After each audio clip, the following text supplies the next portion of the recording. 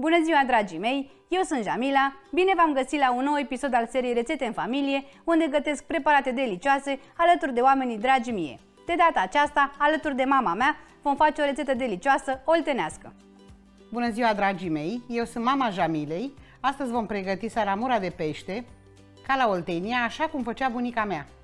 Ca ingrediente vom avea nevoie de 1 kg jumate de pește, 3 ardei grași, 2 galbeni, 1 roșu, 3 ardei capia, 2 ardei iuți, o legătură de pătrunjel, o căpățână de usturoi, mălai, făină, două roșii, sare și piper.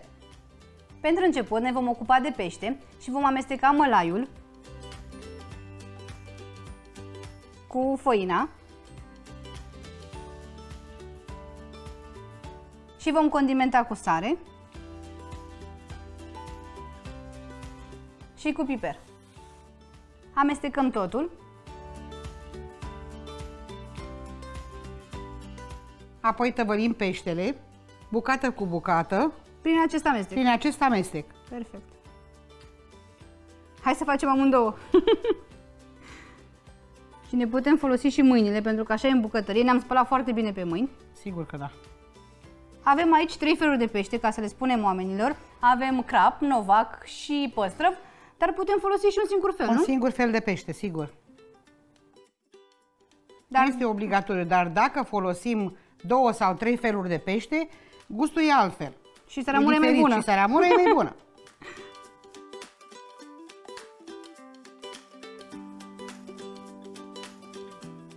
După ce am terminat cu peștele, vom merge să-l prăjim.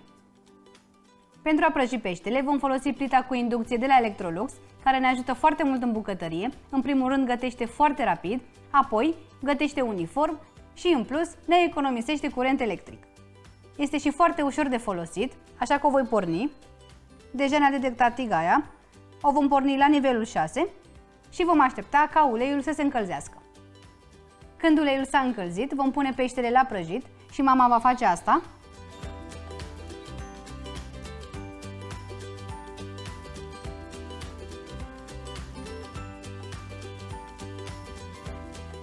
Mama, cât îl lăsăm să se prăjească? 3-4 minute pe fiecare parte. Perfect, după 3-4 minute pe fiecare parte, ar trebui să fie gata.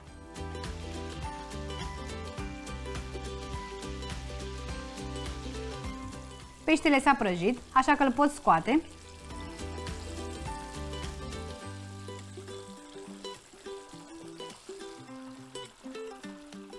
Iar mama va pune următoarea tranșă.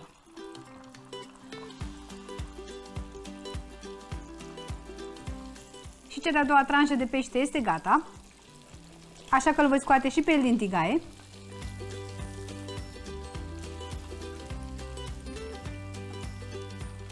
Iar pentru a rămâne cald, îl voi pune în sertarul termic de la Electrolux.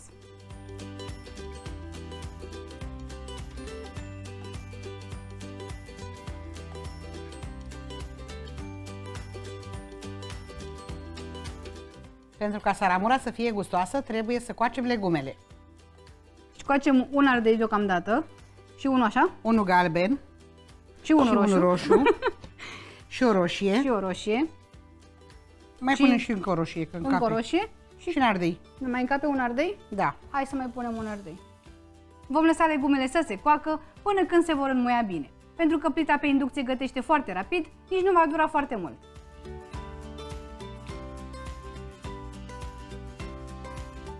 Legumele s-au copt, așa că le pot scoate.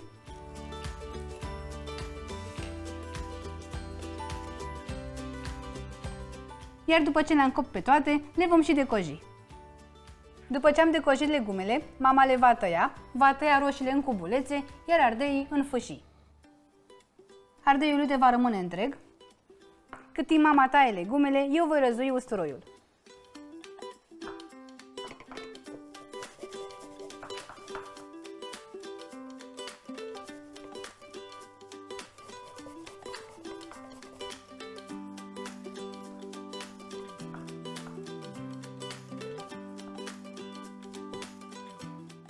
Și acum am ajuns la pasul cel mai important. Se pun într-o cratiță 2 litri de apă, sarea și se lasă să fiarbă, să dea în clocot. Eu voi porni plita și lăsăm apa să fiarbă cât să clocotească. Și acum când zama, cum spunea bunica mea de la Oltenia, a început să fiarbă, punem legumele coapte și tăiate. Sau rupte cu mâna. Dar străbunica mea nu niciodată nu le tăia, ci le rupea fâșii cu mâna. Le rupea fâșii cu mâna. Și era cea mai gustoasă saramură din lume, nu? Cea mai gustoasă zamă. Lăsăm legumele să fiarbă pentru 5-6 minute. 5-6 minute. Cât să se împrietenească toate aromele. Legumele au fiert. Mama, ce facem în continuare? Și acum punem fiecare bucată de pește.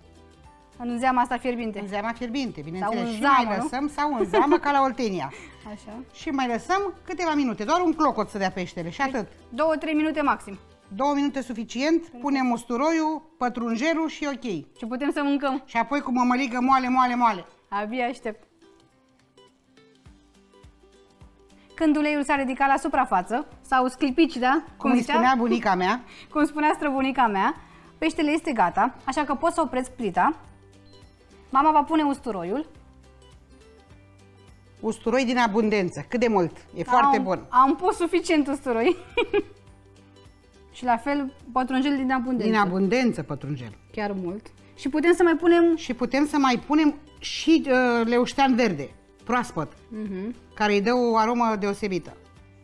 Înainte de a servi saramura, vom pune capacul și vom lăsa aromele să se infuzeze pentru aproximativ 5 minute. Dragii mei, aceasta a fost rețeta mamei mele de saramură de pește. Este un preparat foarte gustos, aromat și ușor de făcut.